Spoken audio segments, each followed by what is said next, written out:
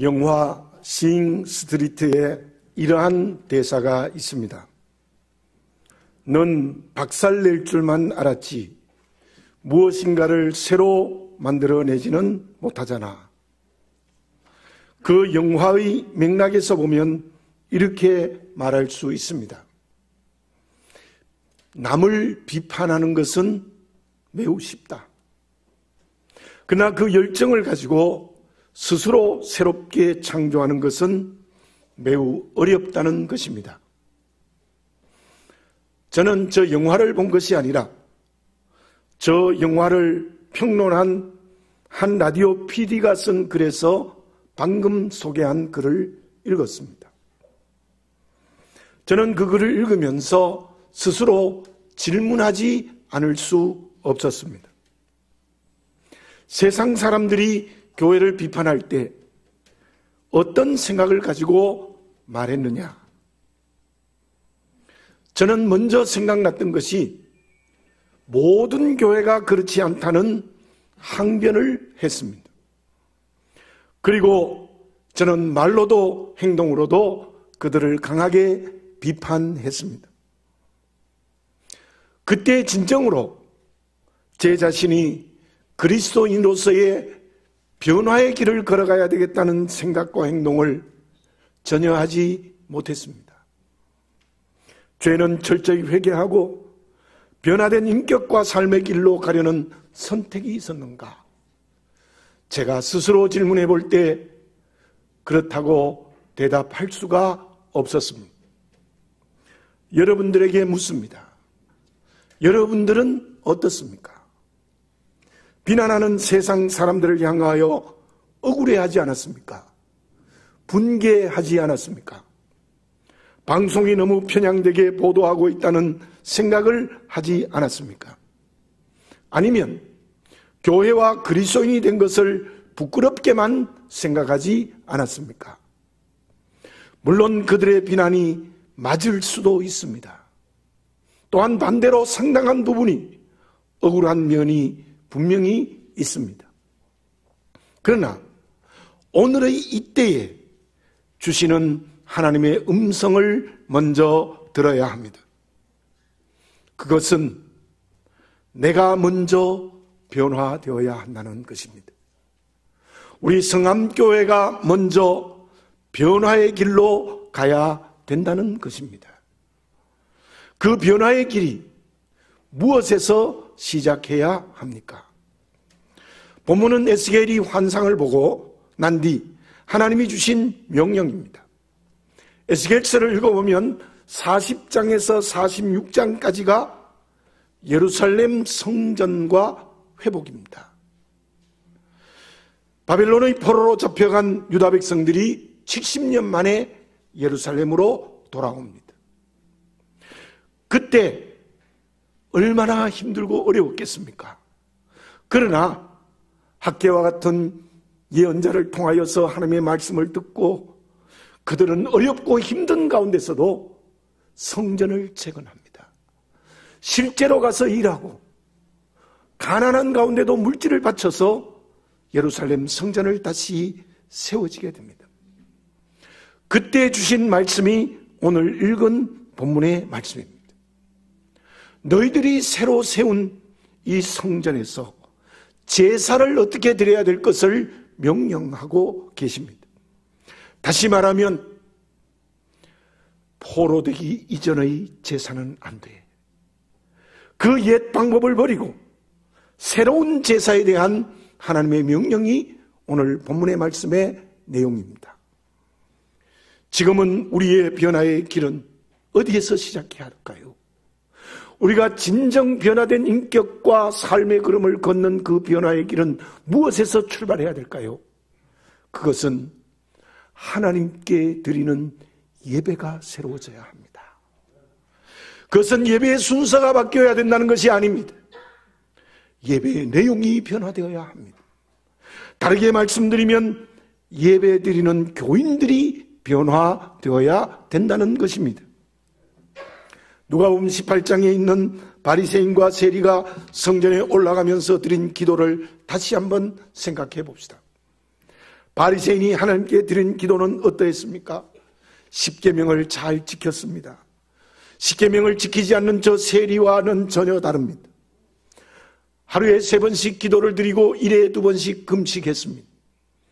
11절을 정직하게 드렸습니다. 그런데 그 옆에 기도하던 세리의 기도는 어떠했습니까? 감히 하나님을 쳐다보지 못했습니다. 주여 나는 죄인이라며 가슴을 치며 하나님 앞에 무릎을 꿇었습니다. 그 기도들에 대한 주님의 대답이 무엇이었습니까? 누가복음 18장 14절입니다. 내가 너희에게 이노니 이에 저 바리새인이 아니고 이 사람이 의롭다 하심을 받고 그의 집으로 내려갔느니라. 무릇 자기를 높이는 자는 낮아지고 자기를 낮추는 자는 높아지리라 하시니라. 이 말씀을 다르게 설명드리면 바리새인의 기도는 잘못되었습니다. 하나님이 받지 않으셨습니다. 자기의 자랑만 늘어놓았습니다. 다르게 설명드리면 심한 신앙적 교만 속에 빠졌습니다. 그것은 무엇입니까? 하나님께 잘못된 예배를 드린 겁니다. 그러나 세리는 제대로 기도드리고 있습니다. 하나님께서는 그 세리의 기도를 들으시고 세리를 의인이라고 말씀하시고 계십니다. 무슨 말씀입니까? 세리는 바른 예배, 새로운 예배를 하나님께 드렸다는 것입니다. 사랑하는 교우 여러분, 로만 캐토릭이 엄청난 죄 속에 빠져 있을 때 말틴 루터라는 33살의 젊은 신부가 무엇을 외쳤습니까? 초대교회로 돌아가자. 초대교회로 돌아가는 것이 기독교가 살 길이다. 그것이 지금의 개신교의 출발입니다. 그렇다면 변화의 길은 어디에서 출발하고 어디에서 시작되어지는 겁니까? 변화의 길은 예배에서 시작합니다. 예배가 새로워지시기 바라겠습니다.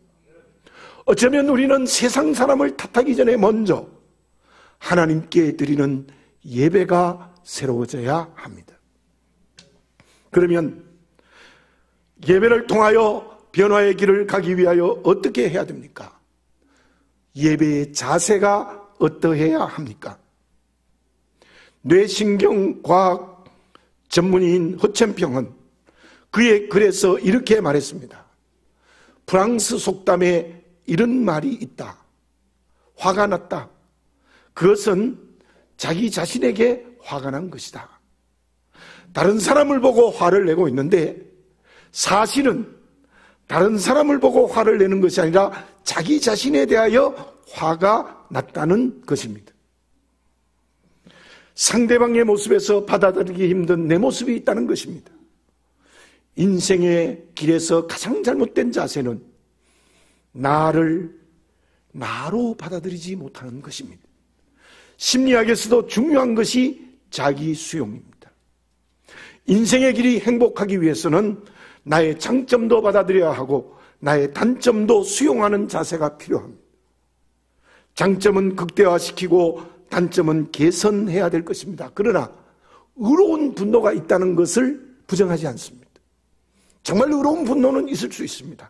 그러나 우리의 삶의 자리에서 대부분의 경우에 화를 내는 것은 그 상대방의 화를 내는 것은 곧 나에게 화를 내고 있다는 것입니다. 그 자세를 고쳐야 인생을 제대로 걸어갈 수 있습니다. 그 자세를 고쳐야 어쩌면 행복한 인생의 길을 걸어갈 수 있다는 것입니다. 그렇다면 예배의 자세가 어떻게 될때 새로운 예배가 될 수 있겠습니까? 새로운 예배를 통하여 변화를 길을 걸어가는 자세는 무엇입니까? 구절을 읽어 보겠습니다. 그러나 모든 정한 절기에 이 땅 백성이 나 여호와 앞에 나올 때에 북문으로 들어가서 경배하는 자는 남문으로 나가고 남문으로 들어오는 자는 북문으로 나갈지라 들어온 문으로 돌아 나가지 말고 그 몸이 앞으로 향한 대로 나갈지며 모든 절기에 북문으로 들어와서 예배를 드렸으면 반대쪽인 남문으로 나가라는 겁니다. 남문으로 들어와서 제사를 드렸으면 북문으로 나가는 겁니다. 그리고 언제나 제사를 드릴 때 몸이 뒤로 가지 말고 앞으로 향하여 나가라. 라는 말씀이 본문에 기록되어 있습니다. 그 말씀에서 지금 우리가 드리는 예배의 자세를 알 수 있습니다. 먼저 예배는 언제나 앞으로 향해 드려야 됩니다. 그 말씀의 뜻이 무엇입니까? 자기를 받아들이는 자세를 가질 때 인생이 행복하고 바른 길을 가게 된다고 말씀드렸습니다. 그처럼 예배의 대상은 오직 하나님심을 알고 그 하나님께만 예배드리는 자세를 가질 때 그리스도인으로서의 바른 길을 걸어가게 된다는 것입니다. 왜 잘못된 길을 걸어갑니까? 왜 말씀을 어기는 죄의 길을 걸어가는 인격과 삶이 되는 것입니까? 그것은 하나님을 향하여 예배를 드리지 않기 때문입니다. 내가 예배의 대상이 되면 안 됩니다. 여러분들 생각해 보십시오. 혹시 지금 예배를 드리는데 그 예배의 대상이 내가 아닙니까? 사람이 예배의 대상이 되면 안 됩니다. 사람이 예배의 대상이지 않습니까? 기도는 오직 하나님께만 드려야 합니다. 찬양도 하나님께만 영광을 돌려야 합니다. 헌금 역시 내게 주거나 사람의 눈치를 보거나 비교하거나 그러면 안 됩니다. 하나님께만 준비된 대로 드려야 합니다. 강하게 말씀드립니다. 예배의 대상이 하나님이 아니면 우상을 경배하는 것입니다. 나라는 우상, 사람이라는 우상, 심지어 세상의 가치라는 우상이 나에게 없습니까? 저와 여러분, 우리가 이렇게 예배를 드릴 때는 오직 하나님을 향해서만 예배를 드립니다. 오늘 본문의 말씀 구절에서 앞으로 향하여 제사를 드리란 말은 우리는 예배의 대상은 오직 하나님밖에 없습니다. 하나님께 예배를 드리라는 것입니다. 둘째로 그 구절에 보면 들어온 문으로 돌아나가지 말라. 남문으로 들어왔으면 북문으로 나가고 북문으로 들어왔으면 남문으로 나가라. 그 말씀의 의미가 무엇일까요? 그 말씀이 오늘 우리에게 주는 뜻은 예배를 들어올 때에 나와 예배를 다 드리고 나갈 때에 내가 달라져야 된다는 거예요. 매주 예배 드리는데 나는 전혀 새로워지지 않아요. 똑같습니다. 아니면 도리어 못해질 수도 있습니다. 하나님께 드리는 예배의 제사가, 자세가 잘못됐기 때문입니다. 예배가 잘못된 습관이 되어 형식화되었기 때문입니다. 기도 시간이구나. 아, 기도하고. 뭐 물질들이 시간에 물질하고. 아무런 의미를 듬지 않고 형식화되었기 때문입니다. 그러므로 온전히 나를 하나님께 드리지 않습니다. 하나님만이 예배의 대상이 되어져야 된다고 말씀드렸습니다. 그 하나님께 기도를 통하여 찬양을 통하여 봉헌을 통하여 내가 전부가 드려져야 됩니다. 예배는 구경하는 곳이 아닙니다. 관람하는 곳이 아닙니다. 감상하는 것도 아닙니다. 말도 고쳐야 됩니다. 예배 보러 가자. 예배 보러 갑니까? 불구경 가는 겁니까? 영화 구경 가는 겁니까? 음악회 가는 겁니까? 예배를 드리러 가자가 맞습니다. 예배는 하나님께 드리는 겁니다. 찬양대의 찬양이 은혜가 되면 박수를 칠 수 있습니다. 그 박수는 하나님께 영광을 돌리는 박수이어야만 합니다. 음악회처럼 잘했다고 박수 치면 안 됩니다. 물론 찬양대가 열심히 준비하여 제대로 하는 것이 중요합니다. 그러나 그 모든 준비까지도 오직 하나님께만 영광을 돌려야 합니다. 나의 전부를 하나님께 드리는 자세가 있을 때 그 예배에 성령이 역사하십니다. 그리고 그 성령이 나에게 기름 부어져서 나를 새롭게 하십니다. 그래서 구절의 말씀처럼 새로워져서 남문으로 들었다가 북문으로 나가고 북문으로 들었다가 남문으로 나가고 도로 돌아가지 않는 새 사람으로서 교회를 어, 성전을 교회를 나가게 된다는 말입니다. 2000년 전 예수님께서 한 번은 혁명적인 일을 하셨습니다. 성전에서 재물을 팔고 성전세를 내는 돈을 바꾸는 것을 보셨습니다.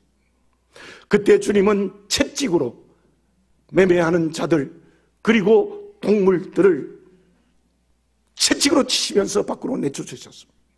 비둘기 파는 자들의 의자와 돈 바꾸는 자들의 상을 둘러 엎으셨습니다.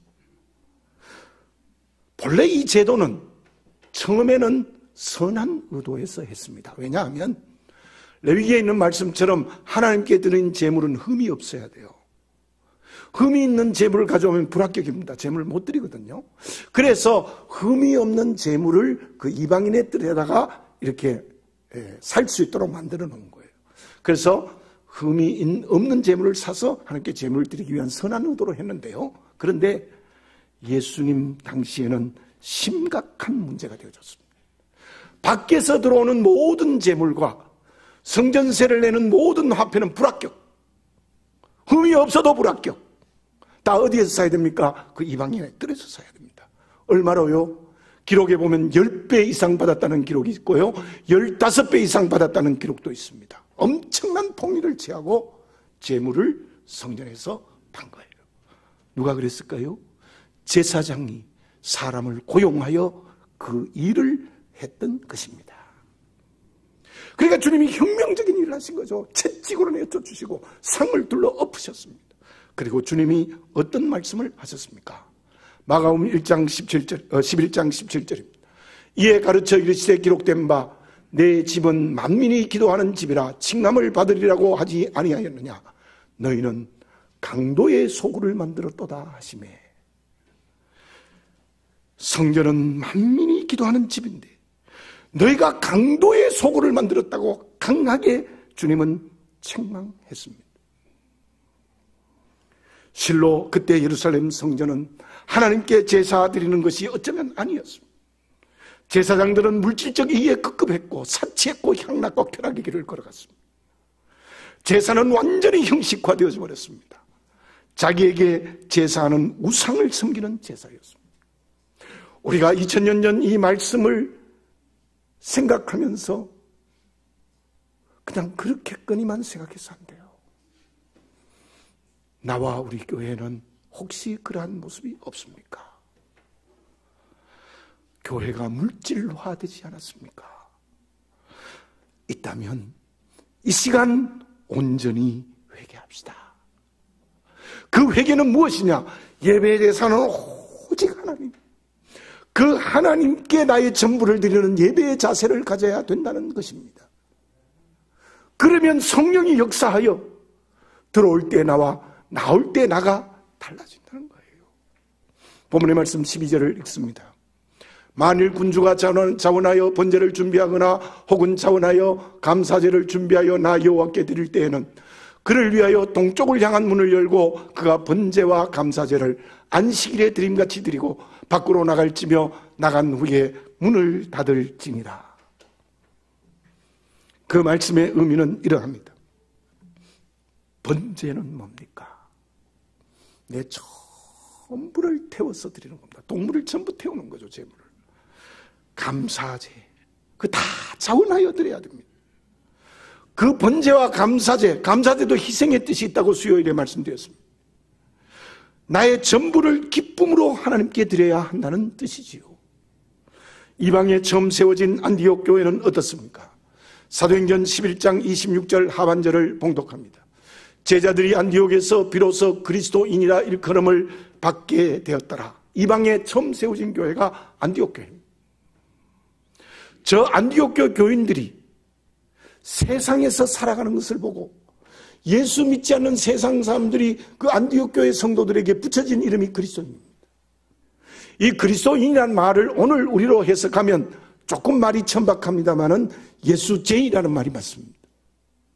그리스도를 믿는데 전문가가 되었다는 거죠. 그렇게 세상 사람들이 붙여줬습니다. 그게 오늘날 우리가 쓰는 크리스찬이라는 말입니다. 왜 그랬을까요? 안디옥 교회 교인들은 세상에서 변화의 길을 걸어갔습니다. 사람들에게 모범을 보였습니다. 덕을 이루었습니다. 저 사람들이 진짜 예수 믿는 사람이구나 하고 그리스도인이라는 이름을 붙여주었습니다.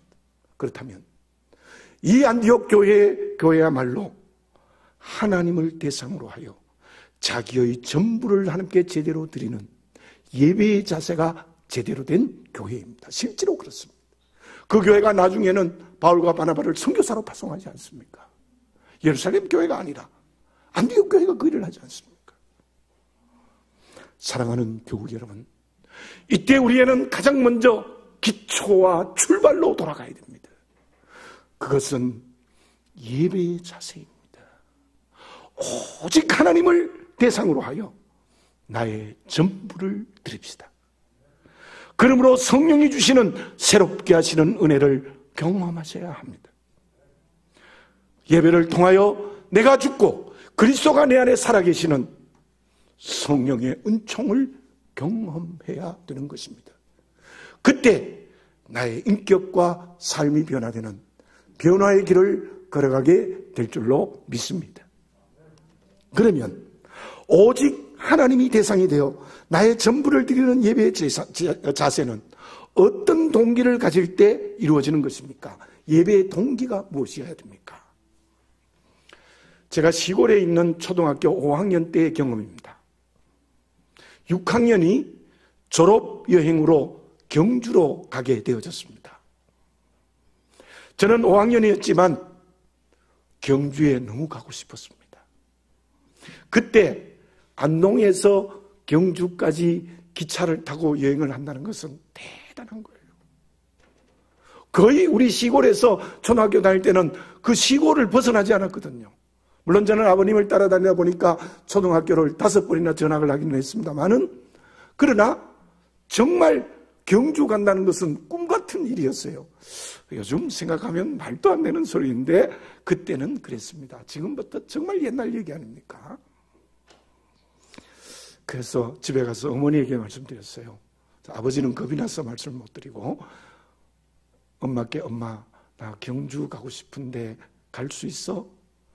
그랬더니 어떻게 갈 수 있어? 못 가지. 그리고 아무 말씀을 안 하셨어요. 그런데 여행 가기 일주일 전쯤 아버지가 저를 불렀습니다. 이번 수학여행에 같이 가도록 해라. 뛸 듯이 기뻤습니다. 저는 5학년인데도 6학년과 함께 경주에 수학여행을 갔다 올 수 있었는데 아마 나중에 알고 보니까 6학년이라도 가난하면 못 가요. 뭐 돈을 내야 되기 때문에 여행비를 내. 근데 숫자가 안 채워서 그랬는가? 지금 생각해 보면 그래서 어쨌든 저 말고 5학년 한 학생도 두 사람이 가게 되어졌습니다.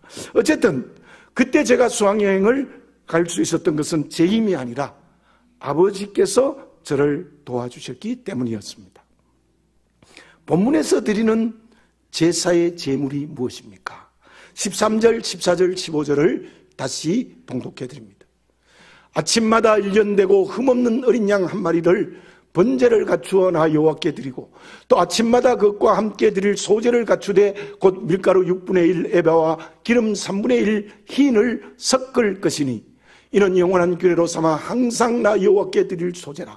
이같이 아침마다 그 어린 양과 밀가루와 기름을 준비하여 항상 드리는 번제물로 삼을 지니라. 자, 이 말씀 읽어보면요. 13절, 14절, 15절 제일 처음에 전부 무엇이 나오느냐 하면 아침마다. 또 아침마다. 이같이 아침마다.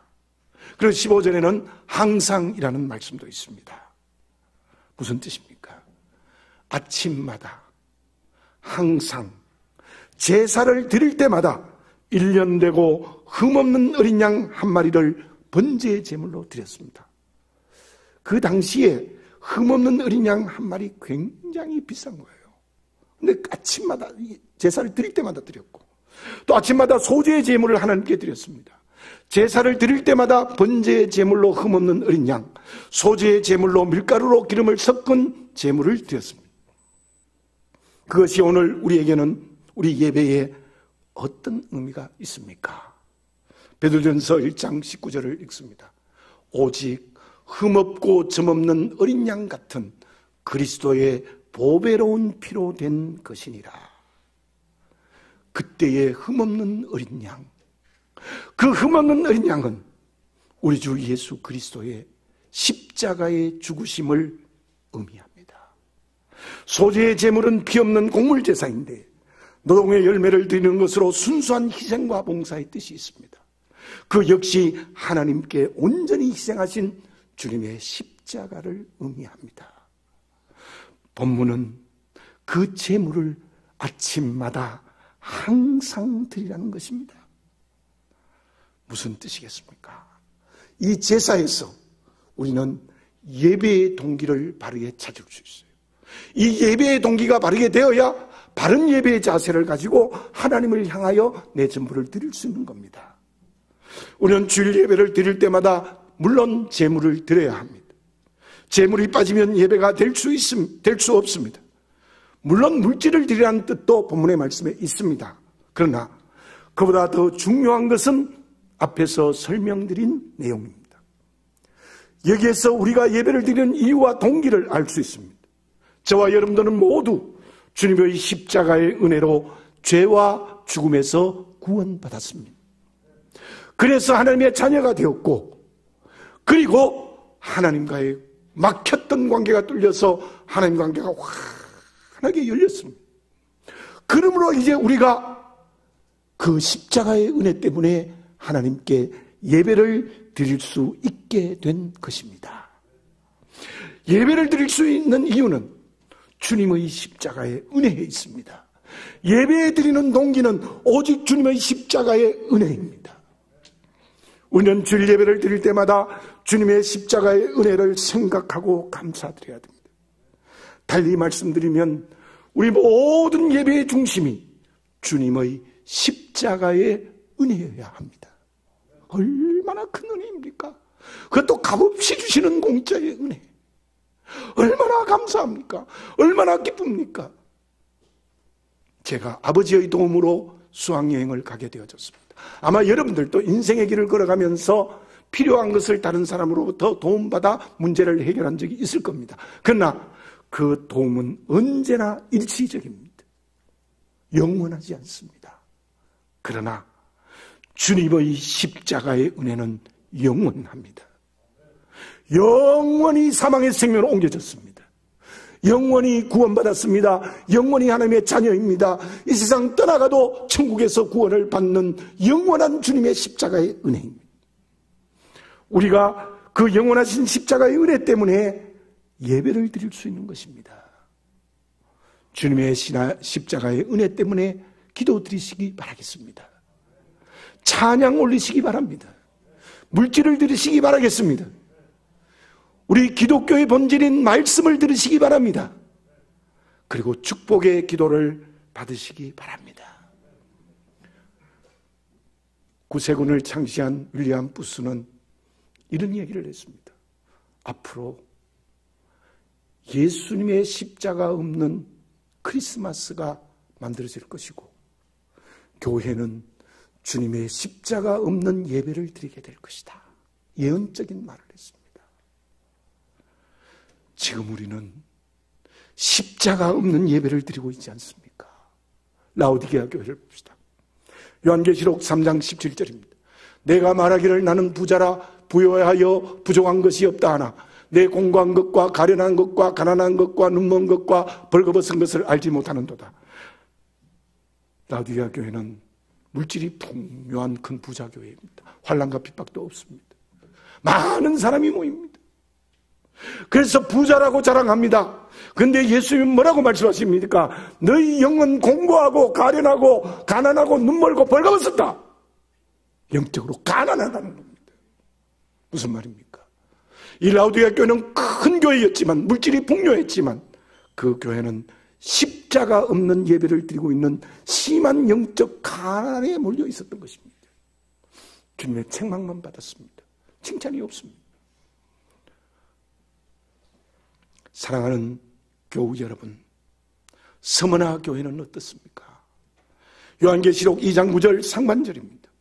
내가 내 환란과 궁핍을 알거니와 실상은 내가 부요한 자리라. 저 서머나 교회는 책망이 없어요. 칭찬만 받습니다, 주님의. 얼마나 예수 믿는 것 때문에 박해가 많았는지 순교하는 사람이 생깁니다. 그러니까 교인들이 적어요. 교회 오지를 않아요. 그러니까 가난해요. 환란과 궁핍이 있습니다. 식상은 내가 부여한 자니라. 그 교회는 영적으로 부자라는 겁니다. 무슨 말입니까? 저 서문화 교회는 주님의 십자가의 은혜가 있는 예배를 드리는 영적 부자였습니다.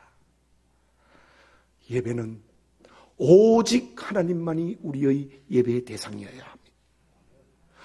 그 하나님께 나의 전부를 드려야 합니다. 그러기 위해서 예배를 드리는 동기는 오직 주님의 십자가의 은혜여야 합니다. 그때 우리가 우리의 인격이 변하고 우리의 삶이 변하는 변화의 길을 걸어가게 될 줄 믿습니다. 결과가 어떻습니까? 마태복음 5장 23절 24절을 읽습니다. 그러므로 예물을 재단에 드리다가 거기서 내 형제에게 원망 들을 만한 일이 있거든 있는 것이 생각나거든 예물을 재단 앞에 두고 먼저 가서 형제와 화목하고 그 후에 와서 예물을 드리라. 제가 이 말씀을 좀 더 적극적으로 바꾸어 해석해 보겠습니다. 바른 예배를 드리는 사람은 인격이 변화되고 삶이 변화됩니다. 인격과 삶이 변화되는 것은 무엇입니까? 내게 맡겨진 모든 이웃을 사랑합니다. 심지어 원수까지도 사랑할 수 있습니다. 이 세상을 하나님의 나라로 변화시킵니다. 예배를 통하여 받은 은혜의 능력으로 주님이 맡기시는 사명을 감당하게 되는 것입니다. 실제로 예수님이 말씀하시는 세상의 빛과 소금이 되는 사람입니다. 바울이 말한 그리스도의 향기와 편지로 바뀌어지는 참된 변화의 길을 걸어가는 것입니다. 이제 우리 모두 오늘 본문에 말씀해 주시는 바른 예배를 드림으로 변화의 길을 걸어가는 그리스도인이 되어지시기를 바라겠습니다. 세상과 이웃들에게 가장 먼저 모범을 보입시다. 그리고 가까운 데서 멀리까지 복음을 증거합시다. 그때 하나님은 우리를 크게 서문학 교회처럼 칭찬하실 것입니다. 뿐만 아니라 그 변화의 길을 걸어가는 그리스도인과 교회를 하나님은 이 시대에 축복해 주실 줄로 믿습니다. 기도드리겠습니다.